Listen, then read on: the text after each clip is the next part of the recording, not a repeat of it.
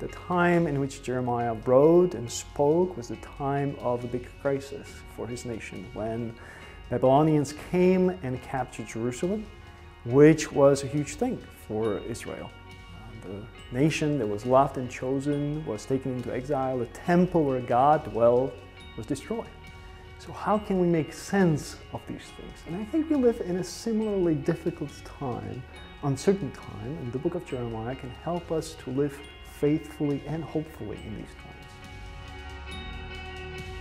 Jeremiah 1 says that his message is to uproot and destroy, to build and to plant.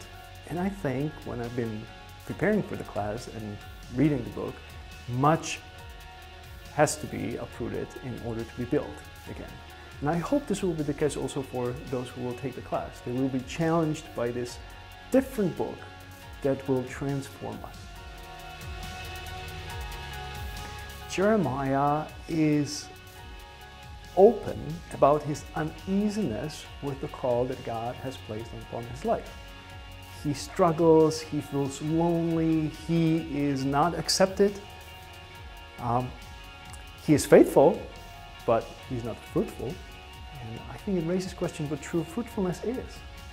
And I think for those who are called to preach or to teach or minister to others, we often feel like it is not easy. There are times when we feel lonely. And I think Jeremiah can be a good companion for our journey.